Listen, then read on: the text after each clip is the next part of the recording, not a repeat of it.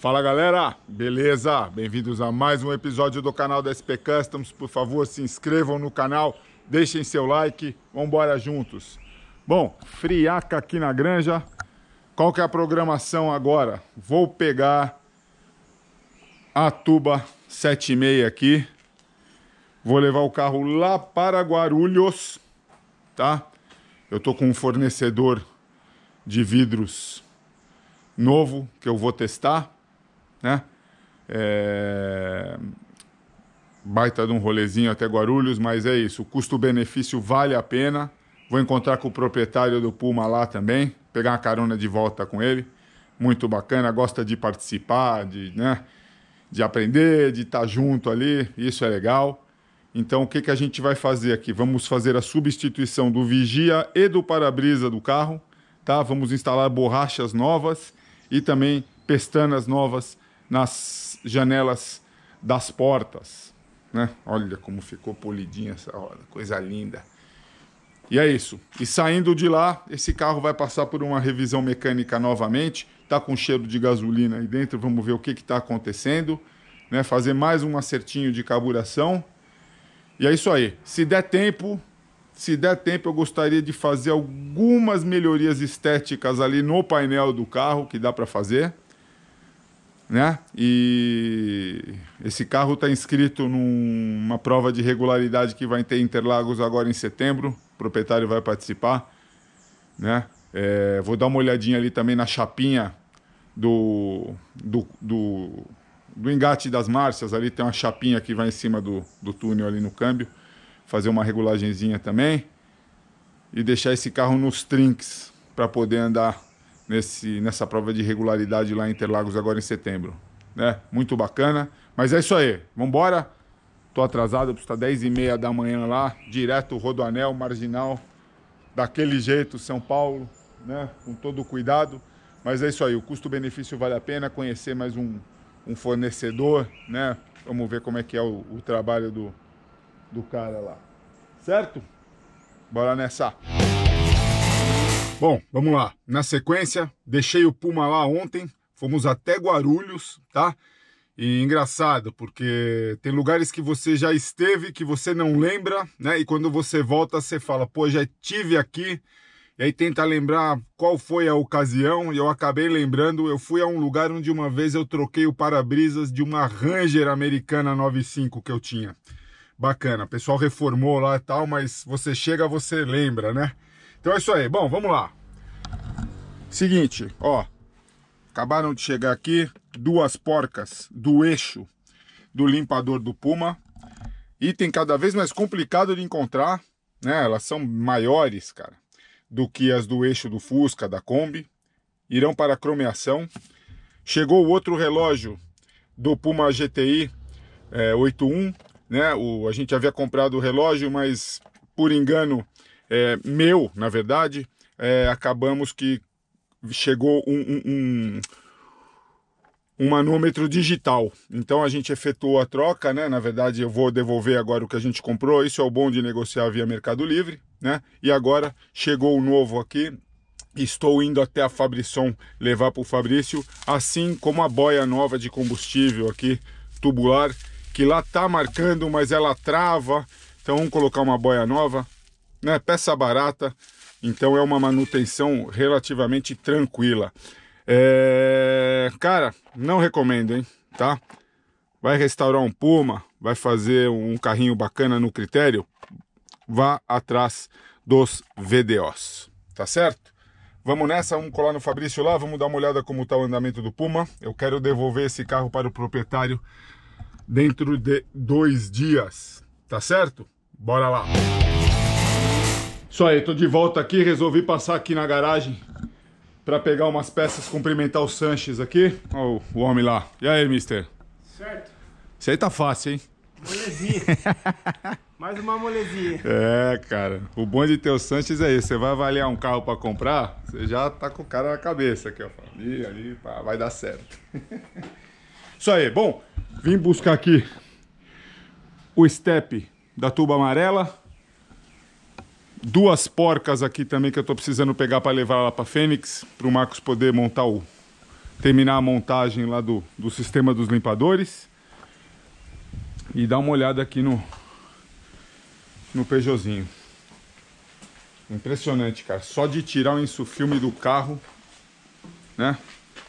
Tirar o insufilme, um martelinho e um bom polimento, um bom trato cosmético fazem milagres no carro. Carrinho muito difícil de achar esse aqui. Todos estão muito surrados. Mas é isso aí. Vamos nessa. Bora lá para Fabrisson, que o dia tá correndo. Bora. Isso aí. Bom, acabei de chegar aqui na Fabrisson, tô com o Fabrício aqui. Tudo bem? E aí, Fabrício? Beleza? Beleza, olha lá, ó, casa cheia, ó. Coisa linda. Ó. Isso aí, ó. Maravilha. Bom, explicar aqui pra vocês. Esse aqui, conforme eu falei, é o que eu trouxe. Esse aqui é o antigo, né? E na verdade eu estava me sentindo culpado aqui pela compra, mas é o que o Fabrício estava falando. Eles não especificam no anúncio que esse aqui é digital, né? E quais são as outras diferenças, Fabrício? Ele não aceita a troca de luz de lâmpada, de cor de lâmpada, né? Ele já, já vem com LED branco esse aqui, né? É, ele tem, ele tem já a cor dele definida e aí não- você não consegue fazer a troca de cor dele. O outro não, o outro você troca o LED, né? E toda E a instalação. E é analógico esse aqui, Fica né? igual aos outros relógios. Aham. Bom, maravilha. Boia de combustível tubular. E vamos que vamos. Certo? Isso aí. Deixar a galera trabalhar em paz aí. Bora correr. Valeu. É, Valeu. Bora pra mais outro aí. Bom, isso aí. Da Fabrisson aqui para a Fênix. Vim conversar com o Marcos. Olha lá, ó. Coisa linda. Coisa linda. Bom, estamos aguardando ainda a chegada dos para-choques da cromeação, né? Na verdade, os para-choques estão prontos, porém, o problema maior aqui são os cajados de porta, tá? Então, vamos lá. Trouxe aqui o step, tá ali. Vamos dar uma olhada. Trouxe aqui também as torres, né, as guarnições, as porcas cromadinhas para a gente montar a- o limpador de para-brisas, né, os eixos ali. Para-brisa ele só está encostado aqui, a gente vai colocar os frisos nas borrachas, né? Essa esse friso é colocado fora do carro, não com a borracha já fixa. E a história dos cajados de porta, né? Assim, nossa única opção aqui vai ser restaurar os cajados que já estavam no carro, fazer uma boa de uma funilaria e uma pintura em preto vinílico, né? É, vai ficar muito bonito também, né? Tudo certo. O ideal seria que fossem cromados, mas é isso, não existe solução para essa peça no mercado. Complicado.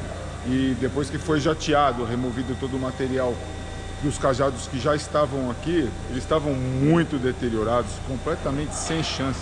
Né? Material não pega solda, é complicado. Então, assim, temos algumas peças de Puma, não lembro se eu já comentei, que estão muito escassas no mercado. Né?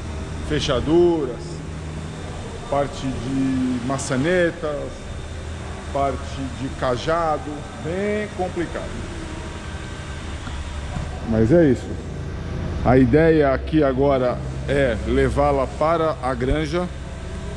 Né? Não vou ficar aguardando os cajados chegarem. Vamos, o Marcos precisa de espaço, eu vou levar ela para a granja. A gente vai fazer uma revisão completa de freios nesse carro. Ela já está funcionando. Né? Vamos montar o, inte- o interior já vai montadinho aqui e o que puder fazer de melhorias para a gente não perder tempo, eu vou fazendo. Né? Vamos ver o que, que a gente consegue fazer nesse painel. Vamos, vamos dar uma olhada, conversando com o proprietário. né? Mas deixa montar os frisos aqui que o carro vai ficar espetacular. né? E os para-choques também. O carro vai saltar né, de visibilidade aí quando essas peças foram instaladas. Aquele apoio do macaco ali embaixo que está pintado, a gente vai serrar fora também.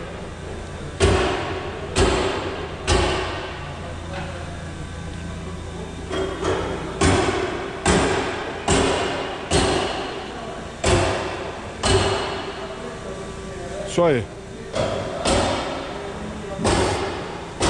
mais umas montagens e o carro já muda de cara.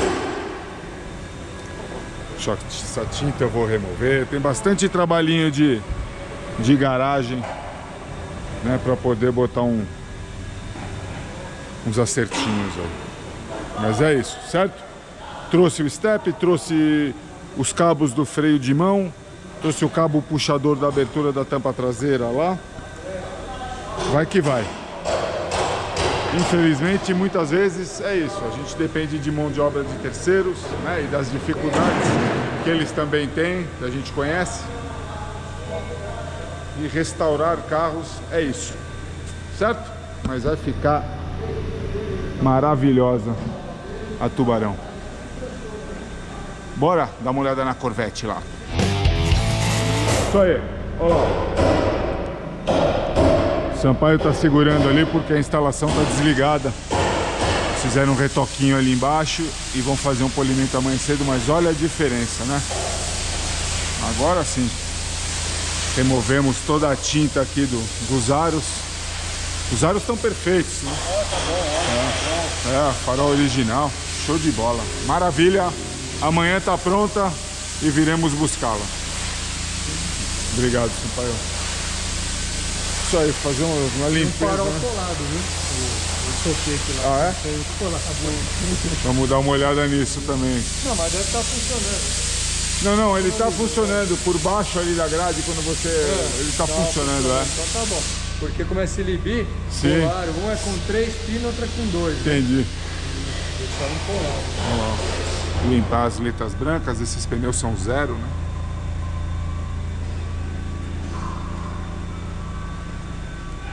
E tropeço. Isso aí.